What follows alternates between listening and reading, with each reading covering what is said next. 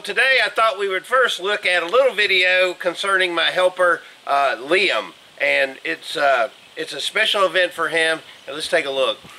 We were riding around and Liam said, we got to go to Target. We got to go to Target. We got to go to Target. And I'm like, what? He goes, we got to go to Target. It's my month. We got to go to Target. It's my month. So I was just like, okay, fine. We'll go to Target. So we're at Target and he wants to go inside and show me something. I don't know what it is.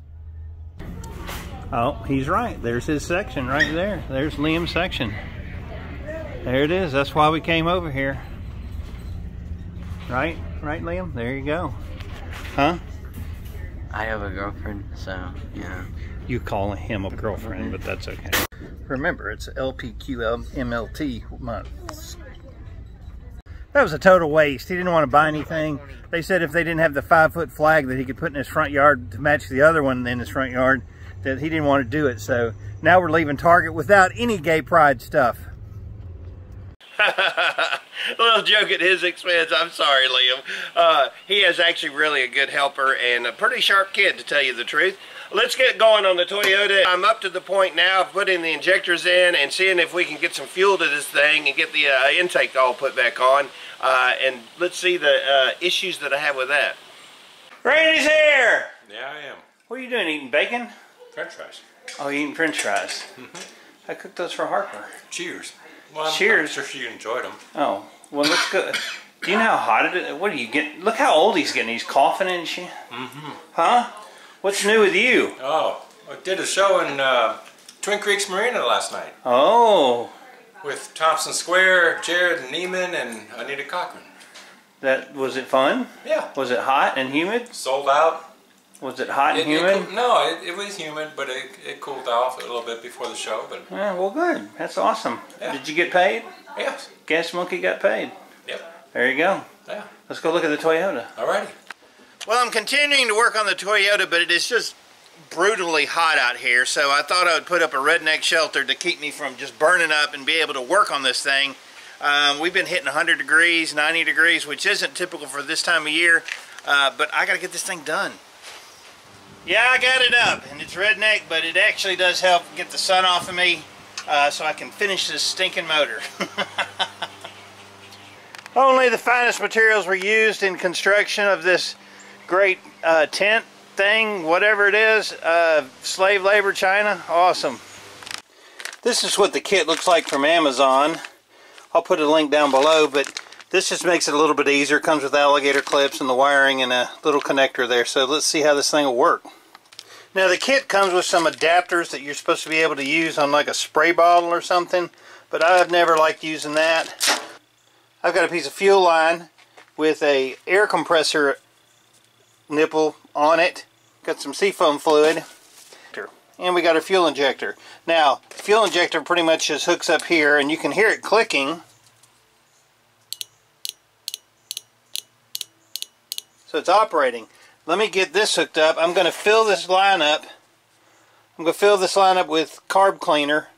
Take the air line and put about five pounds of pressure on it and it should push the seafoam through it, no problem. Alright, I'm going to go ahead and fill this line up with seafoam.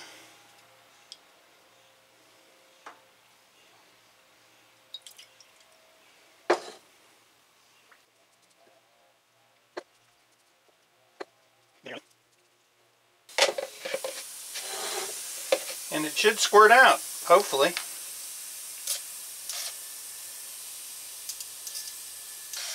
Oh yeah, like milking a cow.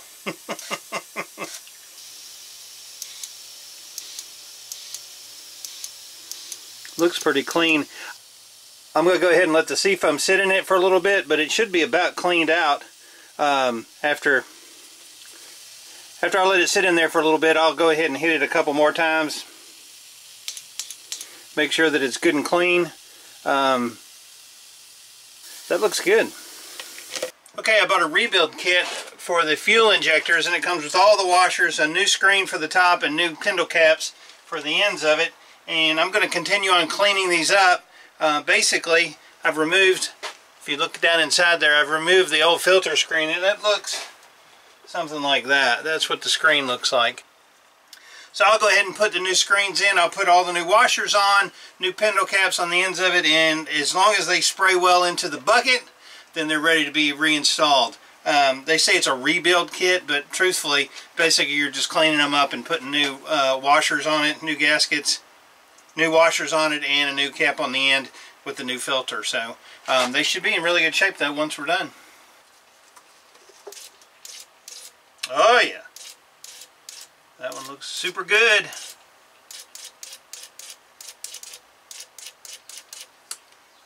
All cleaned up and ready to install. This is what it looks like. It's got a new filter on it, new O-ring gasket here, new gasket there, uh, new pintle cap here, and then the new O-ring here. So this thing is ready to go on. And it looks beautiful!